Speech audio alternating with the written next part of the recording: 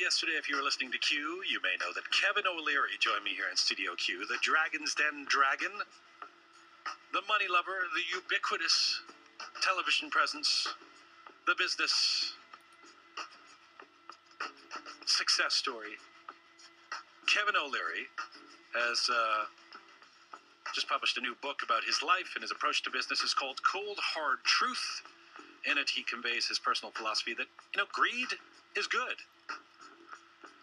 We had a an interesting, I dare say, feisty interview.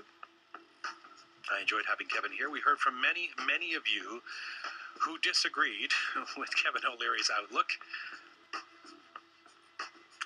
This from Norman Dale in Prince George, British Columbia.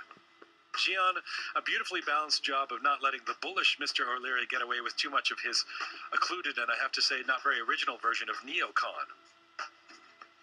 I liked your defense of non monetary motives, but I most enjoyed O'Leary's closing remarks about Canada's excellent position economically and its relation to our banking system. If O'Leary thinks that that system arose spontaneously from single minded pursuit of money and had nothing to do with the financial regulatory environment created by government, he is delusional. Norman Dale, Prince George, British Columbia. Thank you for all your responses on this. Happy to read any defenses of Kevin O'Leary if you want to send those in as well. In the meantime, Norman Dale and Prince George, you have the letter of the day.